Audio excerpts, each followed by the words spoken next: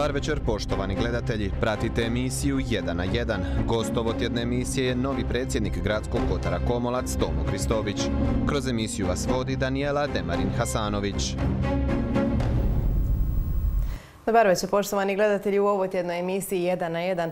U samoj najavi ove emisije rekli smo oni su uspjeli poraziti ono što je bila utvrda HDZ-a u Komolcu. Uspjeli su osvojiti e, više od 200 glasova svojih e, sugrađana, svojih susjeda. Kako su to uspjeli i što planiraju napraviti, reći će nam nosite te liste, kandidacijske liste grupe birača Tomo Kristović. Dobar večer, dobrodošli. Dobar večer hvala vam na pozivu i ovim putem pozdravljam sve građane grada Dubrovnika, pogotovo građane gradskog kotara Komolac zanimljiv gradski kotar, e, ali o svim problemima koje sada ima i koji namjeravate riješiti ćemo malo kasnije. Prvo nam recite tko ste, što ste, čime se bavite i kako to da ste se kandidirali? Pa evo, Tomo Kristović, 50 godina rođen i živim u Komolcu, inače sa barben u Grand Hotelu Imperial ovdje u Dubrovniku.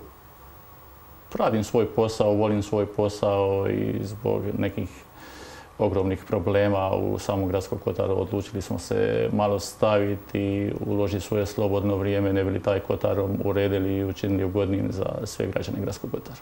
Hoćete li vi imati vremena za to, s obzirom na svoj posao koji pa, je u turizmu, pa onda naravno pa, moramo postaviti u pitanje? Pa iskreno se nadam da hoću, ali treba naglasiti da nisam sam, da svaki član, svaki kandidat s naše liste, nas je 12, svaki, je spreman uložiti svoje, svoje slobodno vrijeme i isključivo nisam, nisam sam, to je sreća, a kroz naredni period ove četiri godine e, također ćemo uključiti još veći broj ljudi u organizaciju svih poslova, projekata koje mislimo napraviti kroz gradski kotar. Nisam sam, to je najvažnije. Dobro, većinu mi čujemo, uspjećemo privući dovoljno ljudi. SDP svaki put kada nam neko dođe iz te stranke u emisiju pitamo kako to da vas je sve manji broj, pa kaže privlačimo sada mlade. Kako ste vi uspjeli okupiti taj broj ljudi sada, stvoriti jednu listu koja nije ni Srđevska, nije ni HDZ-ovska? A prije svega treba naglasiti da smo mi sa svim ovim e, razmišljanjem počeli već prije godinu dana e, aktivno od trećega mjeseca e, ove godine. Naša kandidacijska lista mogla je također sačinjavati 20 kandidata, to nam uopće nije bio problem sastaviti i naravno naglasak je bio, naglasak je bio da budu zastupljeni sva, sva naselja u Gradskom Kotaru Komolac. A onda smo se nalazili, organizirali se, razgovarali se, jer vjerujem da samo razgovorom i suradnjom i razmjenom mišljenja svih, svih ljudi možete, možete to i postići, da se ljudi odazovu i da ljudi, ali bilo je lako jer svi su ljudi nezadovoljni, vidjeli su da se kroz kotar ništa ne radi. Što vam je još zajedničko? Ok, rekli ste da ti ljudi dolaze iz različitih dijelova tog kotara, međutim kako ste se sve skupa sastali, kako ste shvatili da zapravo želite na izbore, da želite nešto promijeniti? Pa bili smo uvjereni ako, ako postignemo neku, neko zajedništvo i svak od nas naravno pri razgovoru bio je odmah upit da li ste spremni, spremni uložiti vaše slobodno vrijeme na nešto bolje, da, da, da probamo nešto promijeniti, da probamo pokrenuti kotar. Svaki je, je rekao da je spreman i, i da želi sudjelovati u tome i onda nakon 20 odgovora vidjeli smo da možemo složiti listu i da ćemo imati i ljude, ljude koji dolaze na primjer iz istog naselja, ali bit će u rezervi.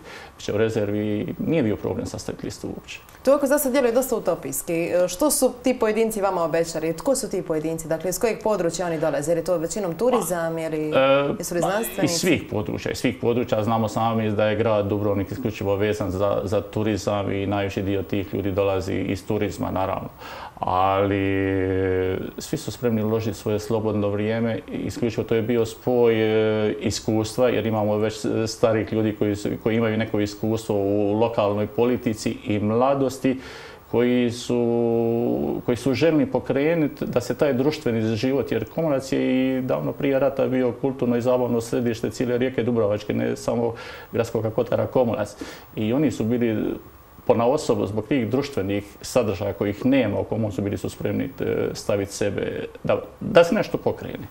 I vjerujete da će ti mladi ljudi ostati e, dosljedni tim svojim obećanjima? Da će pa vrijeme će pokazati, raditi vrijeme će pokazati, ja se iskreno nadam da, da su željni uložiti svoje slobodno vrijeme u e, što bolje. Nije tajna, vi ste već isticali to u svojim intervjuima da imate člansku iskaznicu HDZ-a. Kako to da niste bili na listi HDZ-a? Nisam bio na listi HDZ-a, naime, ja mislim 2014. ili 2015. godine dolazi do razilaženja, jer najgore je kad netko izgubi povjerenje u nekoga. Da li to bile dvije osobe, da li to bila stranka i osoba, onda tu više nema zajedništva i odlučio svak krenuti svojim putem, bilo bi glupo da, e, da ja e, kao osoba razmišljam o prošlosti, jer čovjek koji razmišlja o prošlosti jednostavno nema budućnosti, odlučio sam krenuti dalje. Što to znači? Više niste onda aktivni član HDZ-a? Iskaznicu još imam, e, iskaznicu još imam, stoji negdje kod kuće u nekoj ladici, ali to je uopće sad nevažno. Sad smo se skroz stavili na ovo što možemo napraviti za bolitak e, Gradskog kotara. Jeste li uopće razmišljali o tome da budete na listi HDZ-a možda? Ne, iskreno ne, nisam nikada razmišljao. Zašto? To je neko vrijeme koje je iza mene, uopće se ne, želim osvrćati e, na to, niti razmišljati što bi bilo kad bi bilo jednostavno prošlost i gledamo isključivo u budućnost. Jesu to neke loše uspomene? Dugo ste bili u stranci i nekako se da zaključiti? Bio sam od, od početaka, ali nisam bio aktivni član, imao sam svoj život, e, radio sam, znači nisam težio politici, niti sam ono, bio aktivno ono, na, tim sastancima, tako da nisam se smatrao neki aktivni član. Jesu to bile one 90. kad se većina ljudi pridružila? To je, ono, to je više bio pokret nego stranka onih 90-ih. Sad mislite da to više nije to? Pa, ja sam se našao ovdje sa, sa ovom e, grupom ljudi koji gledaju, gledaju bolitak Kotara i čvrsto sam uvjeren da ćemo nešto uspjeti i napraviti. Moram pitati, evo, niste još zasjeli na to mjesto samog predsjednika, iako vas mi tako nazivamo, zato što nije održana ta konstituirajuća sjednica još uvijek. Kad se očekuje uopće? Pa, isključivo to zavisi od gradskih struktura vlasti kad pročelnica, kad pročelnica pošalje nama pisma za konstituirajuću sjednicu. Da li će to biti tokom 12. mjeseca ili početkom prvom, stvarno ne znamo i onda konstituirajuća sjednica bi trebala, govorim vam, kroz prvi 12. mjesec i onda ćemo znati na čemu smo. Sad točan datum ja ne znam. Što prije to bolje, jel? U svakom slučaju. Evo, niste još zasjeli u tu fotelju tog predsjednika, tu slavnu fotelju predsjednika Gradskog kotara, međutim već ste istupili u javnosti i rekli uništava se jedno parkiralište, izrezao se asfalt kako bi se postavilo božićno drvce. E, kakva je situacija sada? A evo, imamo obavi, dobili smo mail pročelnice da će se parking vratiti u prvobitno stanje, da će se rupat sanirat i Jelka se vraća na staro mjesto, ako bude kakve, kakve ko što je najavljeno projekta izgradnje vrtića, E, grad Dubrovnik e, i mi zajedno, vječnici Gradskog kotara Komalac, ćemo naći novo, mjesto za tu jelku. I tu bi se isključivo zahvalio Dubrovačkoj televiziji koja je promptno poslala svoju ekipu naš kotar i napravili smo reportažu i tako je sve počelo. Onda pismo smo poslali mail pročelnici koja je uvidjela grešku, ali govorim vam, to je isključivo nesmotrena odluka pojedinca i Bogu hvala završilo je na tomu, znači riješen je problem. Znači sanirat će se sada ona rupa koja se iskopa? Sanirat će se to sve i Jelka se vraća gdje je bila sve ove godine. Na ilegalnom parkiralištu? Na ilegalnom parkiralištu, a to grad Dubrovnik treba odlučiti da li je to parkiralište ili je to samo zelena površina. To je isključivo zelena površina, ali korištena u skroz druge svrhe. Koja se i održava, o tome ste i govorili na svojoj Facebook stranici. Tako, održava se vjerojatno čistoća to kosi ili, neko drugi uređen. Tako da, ali uređena je površina. Nejasno je zapravo o čemu je riječ, ali nema veze. Tako je, tako. Glavno, glavno da je problem riješen da je parking, da je parking se vraća prvobitno stanje što je za nas građane Gradskog kotara Komras najbitnije i da ne, nastane neka dugoročna šteta u svakom slučaju. Evo, spriječena je Bog, hvala. E, kotarski izbori su iza nas. E, jeste li razočarani odazivom? E, činjenica je da ste dobili puno više glasova nego što, to je odazvalo se puno više glasača nego što je to bilo na onim proteklim izborima, međutim i dalje je to prilično malo, trećina birača. Tako je, ali ako vi pogledate Gradski kotar Komolac i od svih drugih gradskih kotara imamo najveću izlaznost. Znači mi smo imali na 21 gradski, e, gradski kotar e, grad, 28, svi su drugi na daleko manjem prosjeku. Slažem se s vama da treba poraditi na tu izlaznost jer nije logično da, većin, da manjina, e, manjina odlučiva za većinu, jer ako vi imate izlaznost 10%, 10% znači 10 ljudi odlučuje za onih 100, što je apsolutno nerealno. I ja bih volio da svaki put kad su kotarski izbori što više lista bude, jer ako imamo i više lista, to se poistovjećuje da će automatski izlaznost biti veća. E, evo, na našem primjeru Krasnog Kotara Komolac prije četiri godine na kotarskim izborima bila je samo lista HDZ-a što su oni napravili? Vrlo malo ili skoro ništa. Znači, oni su prije četiri godine imali izlaznost nekih 8-9%, 115, 117 glasova, ništa se nije napravilo. Mi smo prošetali ulicama, e, kolegice su pitale građane što misle e, hoće li izaći na kotarske izbore i većinom su rekli, dakle, razgovarali su sa građanima po Gružu, po Lapadu, gradu. Većinom su ljudi rekli da ne namjeravaju izaći uopće na te izbore jer ne vide kakav je efekt toga. Mislite li da vi to možete promijeniti, tu svijest ljudi da su zapravo kotarski izbori prilično važni? Pa, kotarski izbori su važni svakome, jer preko kotarskih izbora e, vi preko svojih predstavnika u Kotarskom vijeću možete riješiti one probleme koje imate u vašem nasilju, u vašoj ulici. Jer i to su po meni daleko najvažniji izbori u cijeloj Republici Hrvatskoj. E, kotarski izbori su nevažni samo onima, onoj stranci ili onim ljudima koji isključivo žele pobijediti na tim kotarskim izborima. Isključivo, evo mislim tu na HDZ jer e, oni nisu imali niti, niti nikakav marketing, niti su nastupali kroz medije. Znači, vjerujem da su željeli to proći ispod radara i sa neizlaskom i sa što manjim zainteresiranošću građana da dođu lako do pobjede. Evo, sreća imamo u, svim gradskim kotarima, bilo je poprilično lista u odnosu na 2018. godinu i to, to bi bilo super prilično velika razlika i rekli ste i sami najveći odaziv birača u istinu je bio u gradskom Kotaru Komolac 30, u drugima je bilo po 7-8%. Tako, jedno grad je bio na 28%. Da, prilično, prilično mali broj. E, na području tog gradskog Kotara živi puno više ljudi, rekli smo, znači oko nekih tisuću ljudi možemo reći. Tisuću ljudi birača ima u gradskom Kotaru Komolac. Tako, e sad, e, hoćete li vi zastupati svih tih tisuću i pol ljudi?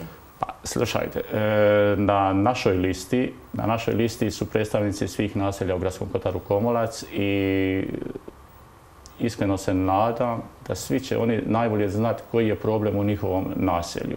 Znači, mi kad smo e, stavili naglasak na društvene sadržaje, nama nije važno e, taj društveni sadržaj i dječja igrališta. Da li će se to dječje igralište napraviti u Rožatu, Prijevolu, Prijevoru, Komolcu, Šumetu, Knežici, sasvim sve jedno je samo da se napravi jedno e, dječje igralište. Mi smo jedini kotar koji dan danas nema niti jednog e, dječje igralište. Znači, nije važno u kojem kotaru. E, zalažemo se da sva naselja u gradskom kotaru budu jednako zastupljena. Prvenstveno mislim sad na ovaj projekt aglomeracije koji, koji bi trebao krenuti početkom sljedeće godine.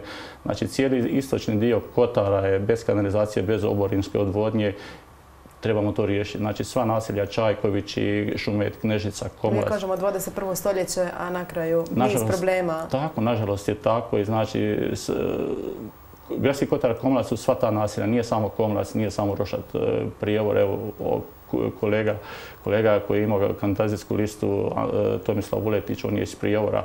Znači nama je i Prijevor važan isto kao što je važan i Komlac. Dobro, imali ste prilično jaku konkurenciju. Dakle, tri liste su bile. E sad, e, mjesta u vijeću su osvojili vi i HDZ. Međutim, kako će sve to skupa funkcionirati? Hoćete li možda i ovu treću listu kontaktirati? Pa, apsolutno u kontaktu sa, sa gospodinom Vuletićem. E, nadam se suradnji, isključivo suradnji sa vijećnicima iz HDZ-a, jer ipak mi živimo u istom gradskom kotaru i bio bih sretan kad bi među vijećnike od strane HDZ-a i ušao i gospodin Ante Vojvodić, jer znamo da je on pročelnik grada Dubrovnika i uz njegovu pomoć ja vjerujem da bi neki projekti u Gradskom kotaru Komolac e, i prije bi se završili jer za neke kapitalne projekte vi ipak trebate e, pomoći grada Dubrovnika. Pitanje je li to njemu onda sukob interesa? A, slušajte, sukob interesa sigurno ima bolje informacije nego, nego mi obični e, vječnici. Da, iščitat ćemo zakone pa ćemo onda shvatiti je li to tako ili nije. E, prije nego što vas pitam koji su najveći problemi e, samo Komolca, evo vi ste nekako već i načeli samo tu temu, poslušat ćemo što su nam rekli građani. Dakle, prošetali smo malo različitim dijelovima Komolca, poslušat čućete što su nam rekli, mislim da se nećete iznenaditi, vjerujem da znate za sve te probleme. Slušamo pa se vraćamo u studiju.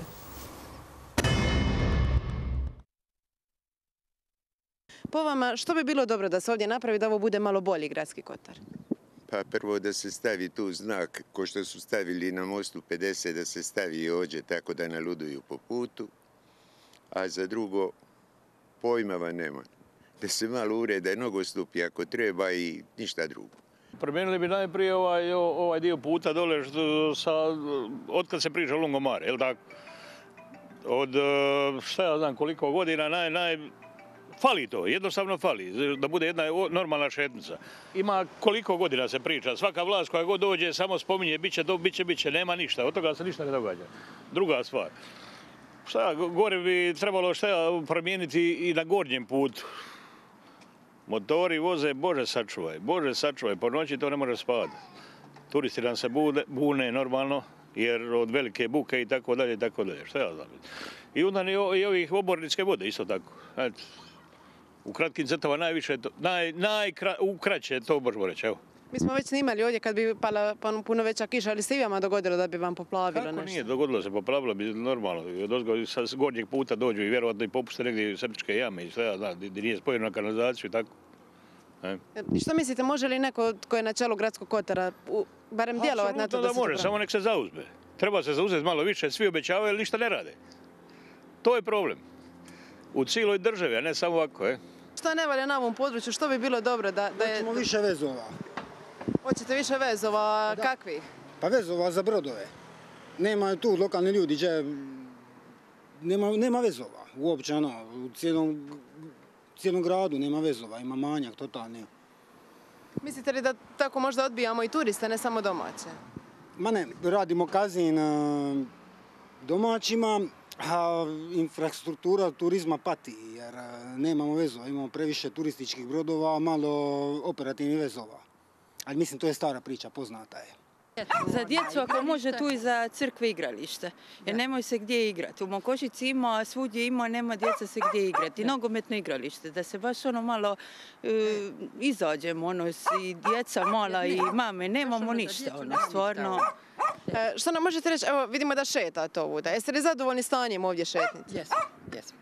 Predlijepo je šetat rijekom, još pogotovo ljeti. Super je. Ono. Ne. Jer ima kakvih još problema na koje biste ukazali? Pa nema nešto, da posebno nema. Ne. I još bi trebali put za gore za Maticu. Jer gore stvarno nema put onaj za Maticu. To je veliki problem. Mislite do crkve? Gore do crkve, da. Čuli smo što kažu građani, hoćemo od kraja krenuti. S ovim putem od crkve pa ćemo onda ove ostale. E, možete li, ovako generalno samo, možete li poraditi na svim ovim problemima? Pa naravno, e, ti problemi su ujedno i naši problemi. E, ova šetnica uz rijeku Omblu, nju apsolutno treba urediti. mi smo već aplicirali turističkoj zajednici grada Dubrovnika u sljedećoj godini, ako je moguće, kakve novce da se uredi ta šetnica, da se postavu klupe, da se postavu kante za smeće i izmete od psa, od Rekli ste turističkoj zajednici ste to spomenuli. zajednici, da. Zašto mislite da bi oni mogli biti zainteresirani? Vjerujemo da je i turističkoj zajednici u interesu da svi gradski kotari budu uređeni i da, da ta šetnica isključivo uz rijeku Omblu koja nije samo, nju samo ne koriste građani gradskog kotara Komras. Tu u ljetnim mjesecima ima dosta ljudi iz gradskog kotara Mokošica. Znači nju treba urediti, nju ne koriste samo, samo jedan gradski kotar. Znači klupe, kante za smeće, za izmet, za pse. E, na nekim mjestima ako je moguće čak i postavi kakve sprave za rekreaciju, za vježbanje. Naravno, ako postoji kakve čestice koje su u vlasništvu grada, također treba poraditi e, uz tu šetnicu imamo odlagalište za smeće. Dogodi se ako je jaki vjetar da, ti kontejneri završe u rijeci, ko što se zna dogodi prethodnih godina. Znači, e, ta odlagališta za smeće treba odgraditi i urediti da se to ne, događa. I dakle, Vi namjeravate za svaki od tih problema kontaktirati one koji su nadležni za to? Tako je, tako je, apsolutno. I da se poradi, poradi na čistoći i urednosti, da nam čistoća javi kad, kad njihovi djelatnici prolaze kroz kotar i da li to rade aktivno, da jednostavno dobijemo raspored čistoće kad je kroz koje nasilje njihov radnik, da vidimo da na samom kraju ovog e, priloga spomenula put do crkve i to nam je dosta ljudi onako mimo kamere kamere spomenulo, dajte da nam naprave taj put do crkve. Tako, e, put do crkve Velike Gospod Rožati je veliki problem jer vi ako imate sprovod, vi sve sa ceste morate iznijeti gore e, na groblje. Tako je. To, za, za takav jedan poduhvat trebate deset mladića koji su baš ono u snazi da bi to sve se gore iznijelo. E, igrom slučaja, e, gospodin Božo Letunić koji je na našoj listi, on je već u dva mandata bio predsjednik Gradskog Kotara. Po njegovoj priči znam da taj projekt e, već postoji samo on negdje zavačen u nečijoj ladici. Mi kada dođemo na vlast, mi ćemo taj projekt ponovo pogurati i u dogovoru sa, sa gradskim strukturama probat ćemo to napraviti da to stvarno zaživi. Jer to je, ta, ta cesta je pristupni put za crkvu Svetoga Velike Gospod Rošati je stvarno neophodan. Da, ako nam je stvarno dosta ljudi to spomenulo, čini se da im to, to tako bi im znači. Tako je, jer vidi na, na tom groblju imate 330 grobnica stvarno veliko groblje i ta, takva jedna pristupna cesta bi bila super. E, dobro, svakako treba vidjeti e, može li se iznaći kakva lokacija, dječja igrališta, to je još jedna stvar koju su nam e, istaknuli. Dječja igrališta, evo po zadnjim informacijama koje, koje imam, stvarno ide u realizaciju ovo igralište kod Franjevačkog samostana i vjerujem kroz sljedeću godinu da bi se to moglo urediti i stvarno da dobijemo i to je prvo igralište, dječje igralište u našem Gradskom Kotaru. Je li moguće da je to tek prvo? Pa, nažalost, u zadnjih 30 godina da. Ima jedno, jedno igra, dječje igralište u Čempresati, u jednom e, dijelu Komolca, ali nije dovršeno, tako da, da bi to trebalo dodatna ulaganja grada Dubrovnika i da to dovodimo u red. E, problem je nastao što je to na privatnom e, vlasništvu. Znači, vlasnici su privatne osobe iz Komolca koje su željne ustupiti gradu Dubrovniku na korištenje da se tu stvarno uredi travnato igralište, međutim grad je tražio, koliko po mom nekom saznanju, grad je tražio da se oni izbrišu iz vlasništva, a ove, ovi privatne osobe nisu bile spremne na to. Dobro, znači ne znate detalje, ne? Ne znamo detalje, ali vjerujem u razgovoru da bi mogli i tamo nešto postići, tako da se i to dječje igralište uredi. Dobro, jedan gospar je također spomenuo Borinsku odvodnju. To je ovako djeluje kao jedan malo krupniji problem. ne znam je li to baš na razini Gradskog kotara, ali... Oborinska odvodnja je problem u cijelom Gradskom kotaru Komolac i u svim naseljima. E, znači, kanalizacija je prošla ovim zapadnim dijelom e, kotara e, Rožat i Prijevor. Da li su se sve kuće, privatne kuće spojile na tu kanalizacijsku mrežu, stvarno ne znam.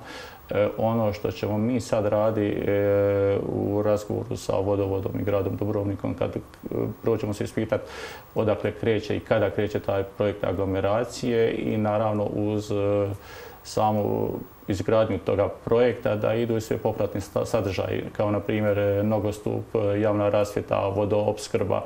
Vi imate, kao što sam rekao, neke naselja u Hladnici, Toru, na predjelu Knežice i Podgaja, e, koji još imaju vodoopskrbu putem Alkatena kroz potok Slavijana, što je nedopustivo u 21. stoljeću. E, baš kad ste sada spomenuli Knežicu, vi ste tijekom svoje kampanje govorili o tome da treba pročestiti malo tu Libertasovu liniju koja povezuje pumpu, mislim kako drugačije to nazvati, i ljude koji žive u treba staviti na nekoj spojnoj cesti, ako će taj projekt aglomeracije ići iz Knežice prema Šumetu, e, postoji neki francuski put e, stari i ako će taj projekt aglomeracije ići, da spojimo ta dva naselja jednom cestom, cestom i tako da taj minibus s pumpe Komulac može proći kroz Knežnicu i da ide pravo prema Šumetu, da ne ide na ovu cestu e, Komolac-Brgat. I naravno da bi to olakšalo i svim roditeljima koji imaju malu djecu, da taj minibus češće... Tako, ako nema tako, A evo sad se dogodilo i ovo, ovo urušavanje rubnjaka na cesti e, Komorac-Brgat, stavljeni su semafori još prije 10-15 dana, ne znam dok je tu krenulo sa sanacijom i to će nam isto biti i prije nego što e, krenemo u vlast u Gradskom kotaru Komlac uputit ćemo jedan mail da vidimo što je sa tom sanacijom gdje je stalo. Jer ta cesta, znači sva dostavna vozila, teretnjaci koji idu za skladišta u poslovnoj servisnoj zoni moraju proći to cestom jednostavno. Prilično uskom cestom. Prilično uska. To ono, mi je zovemo cesta smrti. Nju apsolutno treba proširiti, proširiti i na skretanju za Knežicu trebalo bi se usjeći u brdo kao što se to napravilo na Dupcu.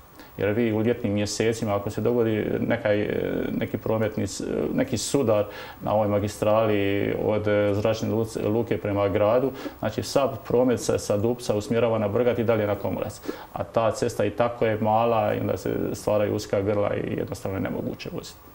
E, puno ste toga sada spomenuli da biste napravili, a sad ćemo onako populistički najaviti o tome kako ćete to isfinancirati nakon reklama. Idemo na kratak predah, par minuta pa se vraćamo u studiju.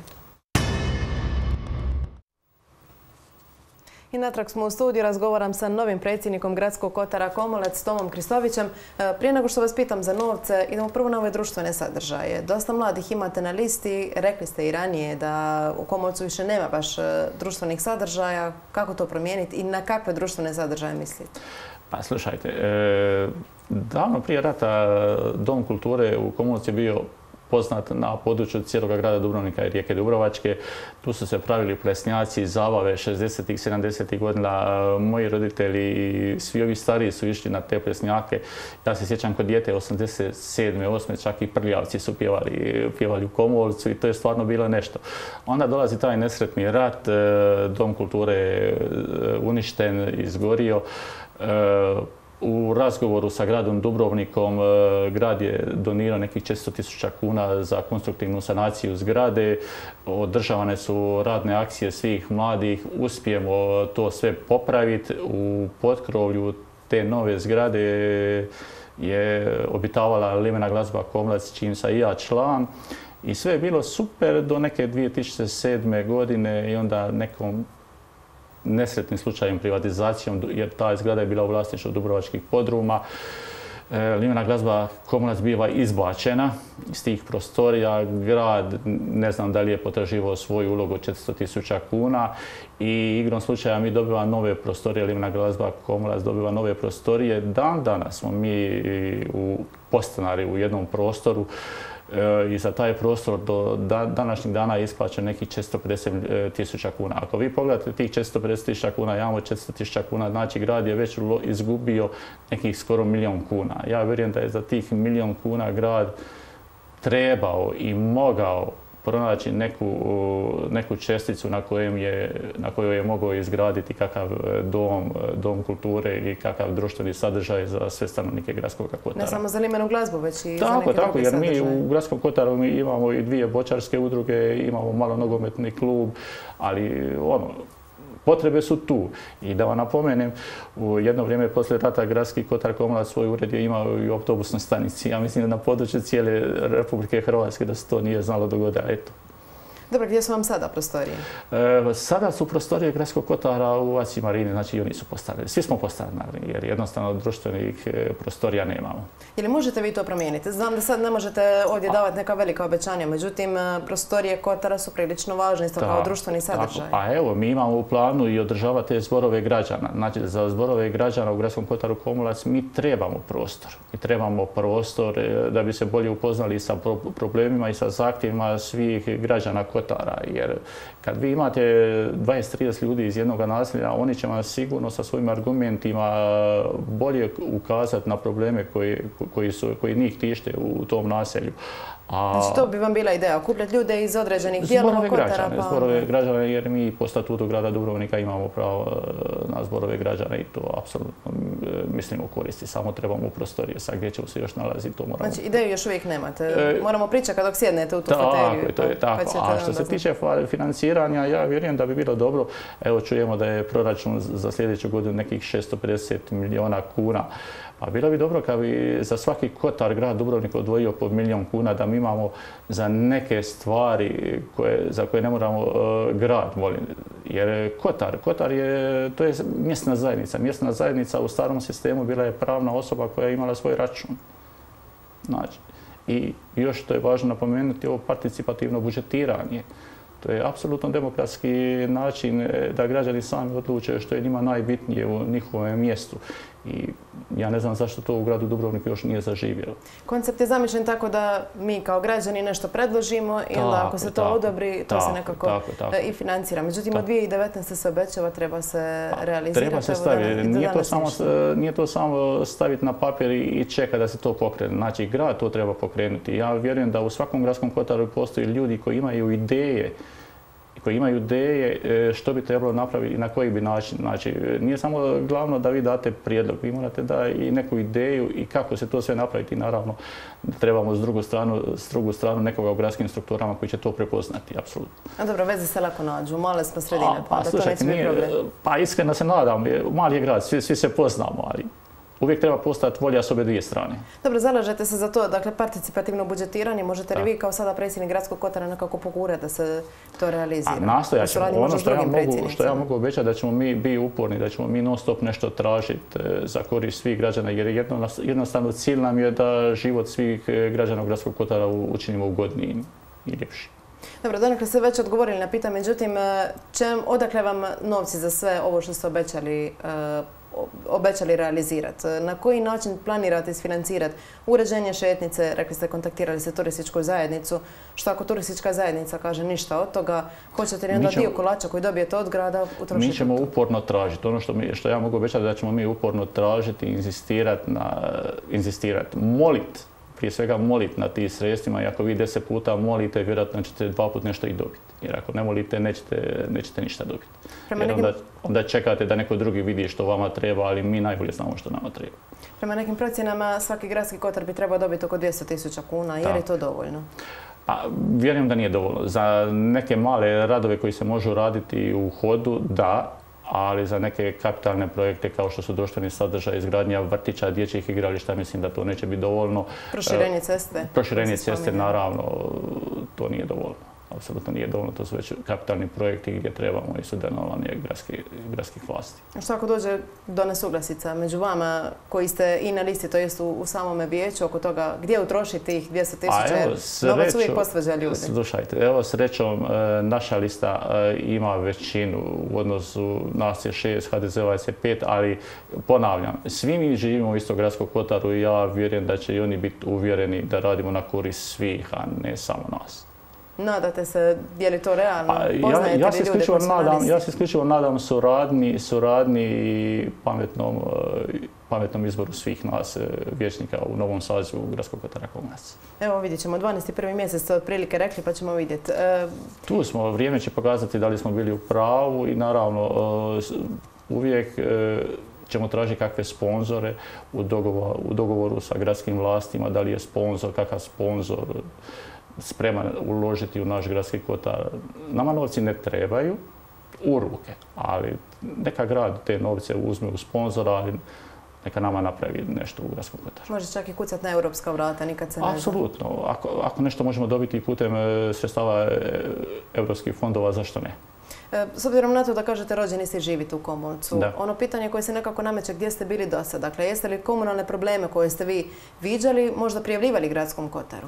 E, prijavljivali smo, prijavljivali smo i to je sve vjerojatno ostalo u ladicama.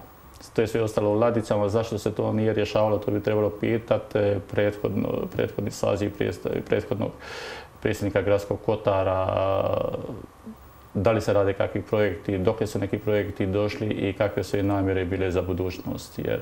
Dakle, niste dobivali odgovore na svoje upite? Nisam bio u prošlom sazivu. Dobro, ali kao građan, kao stanovnik Ne, nemam, nemam nikakve odgovore na ta pitanja stvarno nema nikakve odgovore, s tim ljudima nisam bio u kontaktu. Tako da Hoće li se vama to dogoditi, da ne odgovorite na neki mail? Neće, neće jer ne odgovaram samo ja, svi, svi ovi kandidati koji su na listi, znači svi smo jedno, moj glas koji sam kao nositelj liste i glas, glas kandidata Jakše Preslića koji je 12. na listi potpuno isto vrijedi, znači svi smo u tome i svi, znači glas isto vrijedi i svi smo odgovorni. Da ste aktivni na društvenim mrežama, mislim pritom na vašu listu koja skoro pa svakodnevno objavljuje, e, pretpostavljam da je zato netko zadužen. Pa slušajte, mi kad smo se organizirali, kad smo krenuli s listom, točno smo znali e, gdje, gdje je ko u nečemu najbolji. Tako Mateo Konso pokriva Facebook i on je tu naj, najodgovorniji za Facebook, putem mu zahvaljujem. E, Paulina Pekošalja pokriva medije, znači ona je tu glavna, što Paulina reče mi se manje više složimo se, naravno, svaki prijedlog, svaki prijedlog i moj prijedlog i Pauline, bilo čiji prijedlog i ona prođe, prođe glasovanje i čim imamo većinu, to je to. Ono, jednostavno je lako onda donijeti odluku. Znači, svaki je, svaki u najbolji. Dobro, e, prije emisije smo malo razgovarali pa ste mi rekli jednu e, stvar vezanu za sjednice. E, kakve će biti sljedeće sjednice vašeg gradskog kotara? Mi imamo namjeru kao prvo otvori stranicu Gradski kotar Komolac i namjera nam je sve sjednice da idu uživo, da se sjednice snimaju.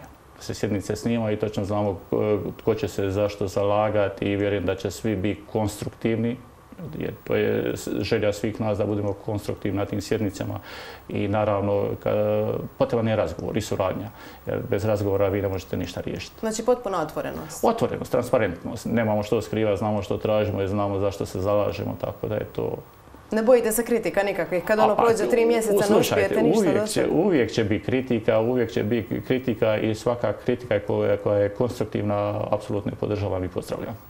Dobro, vidjet ćemo kako vam, kako vam bude išlo. Pa, slušajte, još, još smo novi u tome. Najvažnije da mi imamo volje, volje za to pokrenuti i napraviti nešto bolje za Kotar. Rekli ste i sami da ćete e, puno puta pisati nekome, puno ćete upita sad, e, pitat ćete i za novce. Vjerujete li da je moć Gradskog Kotara tolika da vam ljudi uistinu i odgovore i daju te novce? Pa vjerujem da je naj, e, najlakše odgovoriti na mail. Znači, ako vi nemate povratnu informaciju, čekat ćemo, poslije prvoga maila, čekat ćemo 15 dana ako vidimo da, nema odgovora, ponovo ćemo poslati mail, a apsolutno tu treba biti zahvalan medijima. Jer, jer mediji kad nešto pitaju, to ima daleko veću težinu nego kad pita e, neki gradski, e, gradskog kotara ili predsjednik gradskog kotara, tako da uz pomoć medija ja vjerujem da ćemo biti da, međutim, gradska uprava nema zakonsku dužnost da nam odgovori, iako bi u pravilu bi trebali imati. Slušajte, e, gradonačelnik prvi i kao Mato Franković kao gradonačelnik grada Dubrovnika i ja kao prijesnik gradskog kotara Komrac, mi smo svi u službi građana. E, on kao gradonačelnik, njegova uloga je još veća i teža da bude u službi građana nego moja i mi smo tu isključivo zbog svih građana, ne zbog nas. Znači, ako smo u službi građana, ja vjerujem da bi mi trebali odvojiti naše vrijeme i pokazati onu najmanju dozu pristojnosti i odgovoriti na mail.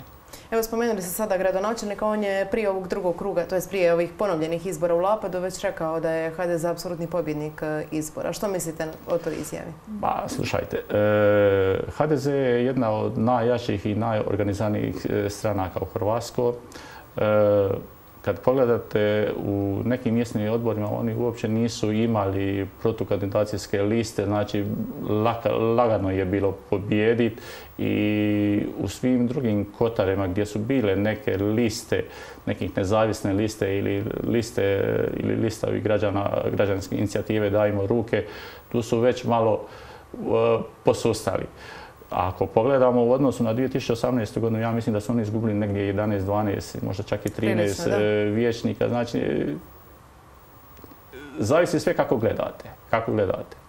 Da, zato i pitam što kažete na to da, da kažu da su apsolutni pobjednici. A bilo bi logično da su e, apsolutni pobjednici onaj, kad su se kandidirali u svim gradskim kotarima i mjesnim odborima.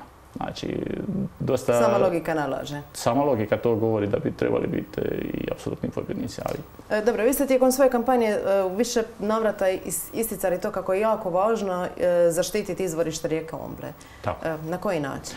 Pa evo ja se sjećam kao dijete ima preko, ima preko rijeke Omble jedan most u Komolcu i davno prije rata bila je oznaka rijeka Ombla, ispod te oznake rijeke Ombla bila je oznaka foto, e, fotoaparata koji je bio prekrižan. Znači, do prije rata nije bilo ni dozvoljeno e, slikavanje izvorište Omble, a sad vi u ljetnim mjesecima imate veliki broj taksista koje vode strance na to izvorište Omble. To izvorište Omble je zaraslo dračom, neuređeno, na samom malome slapu, jer zapamtite, rijeka Ombla je najkraća europska rijeka. I na tevu malome slapu je javno, javno kupalište zbog, e, u ljetnim mjesecima grad Dubrovnik sa svim gostima ima negdje 60-70 tisuća ljudi. Cijeli grad Dubrovnik napaja se iz izvorišta rijeke Omble. Znači, to izvorište je potrebno zaštititi ili ogradom, video nadzorom. E, video nadzorom, ja se sjećam prije rata bio i stražar na samom izvorištu rijeke Ombre i nije dozvoljavao, to bi vam bio nije, nije, dozvoljavao uopće čamcima, malim brodicima e, ulesak e, ili približavanje temu izvorištu rijeke Ombre. kad preuzmemo gradski kotar, poslaćemo jedan mail i vodovodu i gradu Dubrovniku da, da se to izvorište rijeke Omble svakako zaštiti. Znači, ograda, video nadzor, straža? Video nadzor, ne mora straža, ali video nadzor danas, već smo u 21. stoljeću video nadzor i kakva ograda bila bi dovoljna. Dobro, to bi bilo prilično veliko ulaganje. Na gradu je da se stavi. Spominjali ste i zagađenje tog samog izvorišta, e, pa vas i onda e, voditelj istraživanja Dušan Jeliš demantirao, to jest ne vas, nego Ruđera Novaka, navode Ruđera Novaka koji je pisao na portalu, to jest koji je e, na neki način dešifrirao te podatke. Mi smo samo prenijeli tu informaciju da li je to istina, jer vidjeli smo i one slike da dole ima tih plastičnih cijevi i mikroplastike. E, mikroplastike. Prepadne se čovjek kad vidi da to unosim. Da li je to istina, nije jedan, taj ronijec je vjerojatno bio dole u tom izvorištu rijeke Omble. Da li je to istina, nije, mi smo samo prenijeli tu informaciju. Dobro, ta mikroplastika kažu vrijednosti nisu, čisto da smirimo ljude, vrijednosti prema mišljenju ovog e, voditelja istraživanja nisu više od onih kakve su na, drugim izvorištima pitke Dobro, to u svakom slučaju to bi trebalo poslati u neki nezavisan laboratorij i da se to ispita jer opasno je vjerovati e, svakome. Apsolutno, pogotovo voditelji istraživanja nekog. E, dobro, idemo se kratko još odmoriti pa ćemo se vratiti onda u studiju. Imamo još nekoliko završnih misija, moram vas pitati za prethodnika, to još nismo obradili. Par minuta odmora pa se vraćamo u studiju. I natrag smo u studiju još svega nekoliko minuta razgovora sa novim predsjednikom Gradskog kotara Komolac, e, Tomom Kristovićem. Evo spomenuli jesmo izvorišta rijeke Omble. E, u pojedinim intervjuima ste vi također ispominjali to da je rijeka Dubrovačka zapostavljena, zapuštena. Tko je za to odgovoran i kako to promijeniti? Pa ako, je rijeka Dubrovačka i gradski kotar Komolac, gradski kotar Mokošica, evo govorim isključivo za svoj gradski kotar zapuštena, imamo niz ljetnikovaca koji stoju zapušteni. Ako je grad Dubrovnik vlasnik tih ljetnikovaca, bilo bi normalno da on sredstvima Europske unije te ljetnikovce obnovi za kakve društvene sadržaje, društvene sadržaje, jer vjerujem i da je u Novoj Mokošici, Gradskom Kotaru Mokošica, postoje udruge koje bi bile zainteresirane da da sudjeluju u tome. Naravno, svim, svim tim udrugama neophodan je prostor da bi uopće mogli djelovati i organizirati nešto. Pa zbog toga bi bilo dobro kad bi grad, grad uredio te ljetnikovice i to bi bilo sigurno koristi svim kotarima na području rijeke Dubrovačke. Evo vaša konkurencija na proteklim izborima, Tomislav Uretić je spominjao to da bi se o tim ljetnikovcima mogli osmisliti nekakvi sportski sadržaj.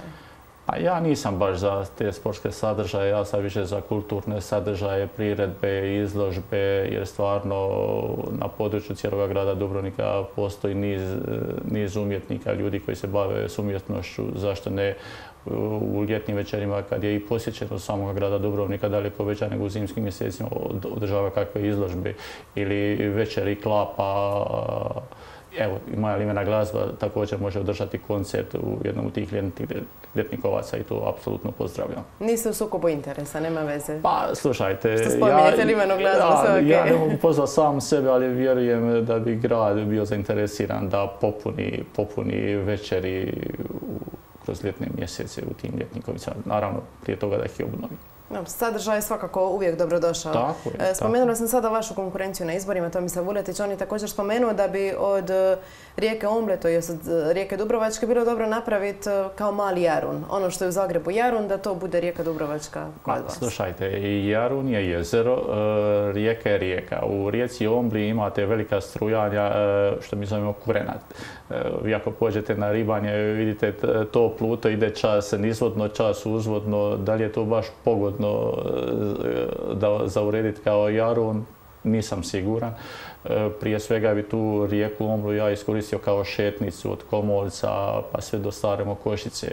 Naravno, to treba urediti, ograditi, urediti e, odlagališta za smeće, postavi klupe, postavi ove kante za smeće i jednostavno da ta šetnica nećemo lići jer ta šetnica u ljetnim mjesecima ona je puna života puna života i znači posebno e, roditelji s malom djecom puno života. Temperatura je malo niža ipak nego Apsolutno, i hladnije i ugodnije, posebno u ljetnim mjesecima ugodnije nego gore malo dalje od rijeke. Prozračnije svakako. Tako. E, pitala sam vas e, za konkurenciju na izborima, međutim što je sa vašim prethodnikom, Nikšom Sintovićem, jeste pa li s njime komunicirali? Prethodnik, e, predsjednik Gradskog kotara Komlaci, gospodin Nikša Sentović bio, nisam u prošlom sazivu, poznamo se naravno iz, iz istog smo mjesta, nisam u prošlom sazivu bio, tako da nije ostvarena nikakva komunikacija, ali isto tako vjerujem da ni mediji, novinari, novinarske kuće i televizijske kuće iz Dubrovnika, ne znam da li ste vi uspjeli uspostaviti kakvu komunikaciju sa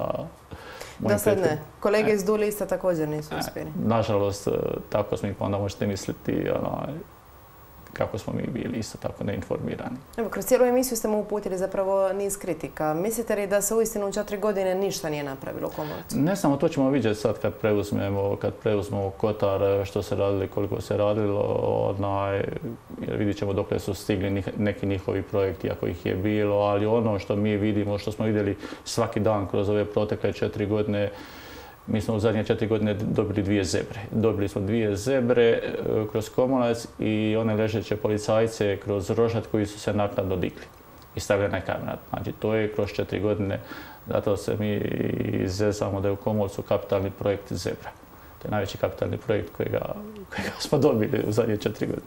Što mislite, u čemu je bio problem? Mogu li se, može li se vaš prethodnik vaditi na koronu?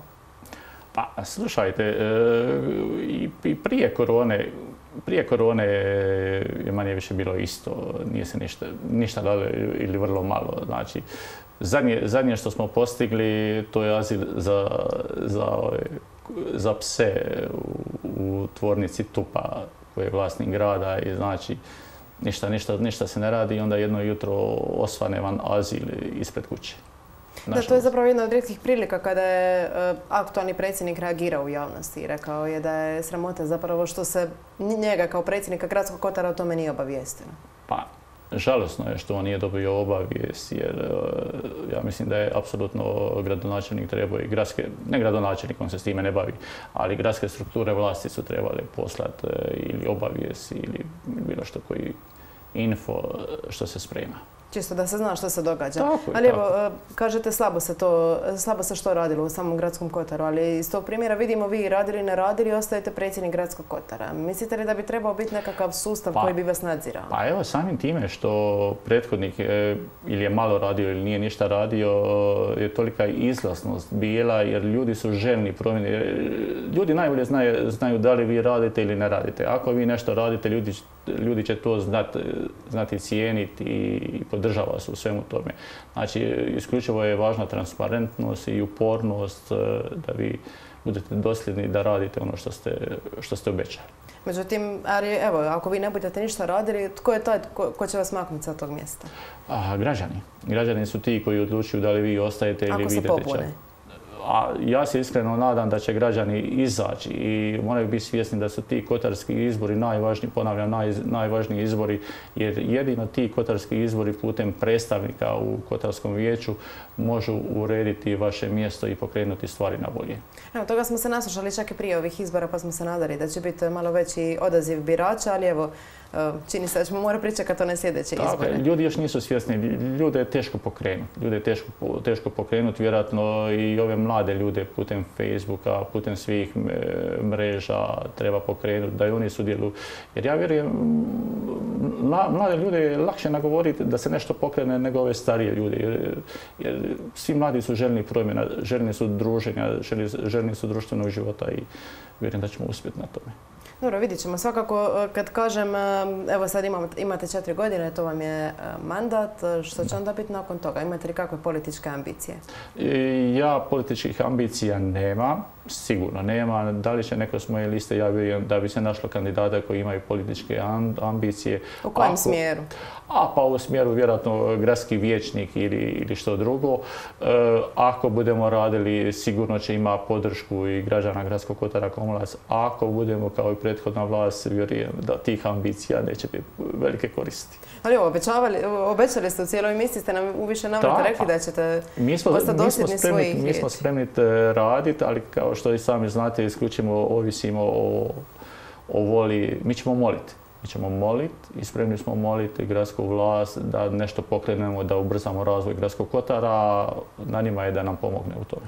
Dobro, imat ćete sigurno više sastanaka i sa pročelnicima i sa gradonačelnikom. Tako, tako. Dakle, idete sa, dobrom voljom, pa ćete vidjeti što će se dogoditi. Tako, mi ćemo slati poruke, tu ćemo biti stvarno uporni, mailove, to ćemo slati, e, prijedloge ćemo isto tako, tako da. Tu nećemo biti mirni, to sigurno obećamo da nećemo tu biti mirni, tu ćemo to ćemo tražiti non stop. Dobro, nekako smo prečešali cijeli gradski kotar e, tijekom emisije. Međutim, moram vas pitati kad sjednete u tu takozvanu fotelju samog predsjednika, što će vam biti prioritete, što je ono što ćete prvo napraviti? Prioriteti. E, prvo ćemo tražiti izvješće prethodnog e, predsjednika što se radilo, da znamo dok su došli, na čemu moramo mi nastaviti. E, druga stvar, projekt aglomeracije koji ide početkom tekuće godine, da vidimo otkud će početi i da se odmah, odakle počne, iz kojega naselja počne, da se sukladno tome rade kroz to naselje, nogostup, nogostup i zapšake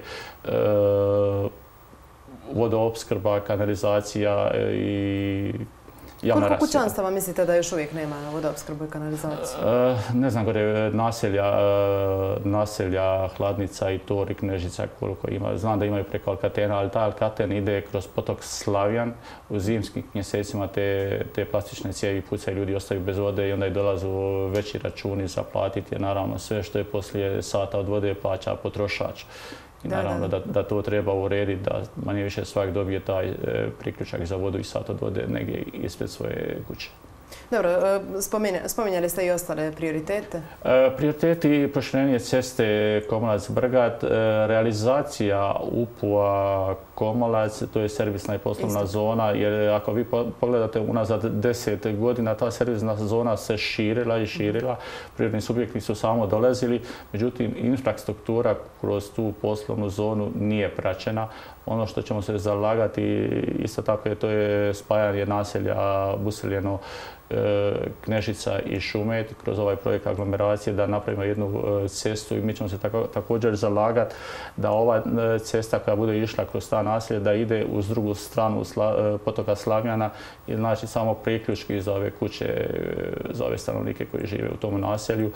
Zaštita izvorišta rijeke Omble i ono što, čega se večeras nismo dotakli, e, svi stanovnici rijeke Dubrovačke će insistirati na izmjeni trase brze ceste za zračnu luku Dubrovnik, jer nikome nije u interesu da ta brza cesta prolazi kroz rijeku Dubrovačke, jer rijeka Dubrovačka je puna izvora pitke vode. Očekujete li tu e, da će biti sluha za tako nešto? Znamo da se grad Dubrovnik očito Grad Dubrovnik je istog takvog razmišljanja kao mi. Nažalost, župan ima skroz drugčije mišljenje. Vidit ćemo koliko ćemo i dok ćemo stići s time.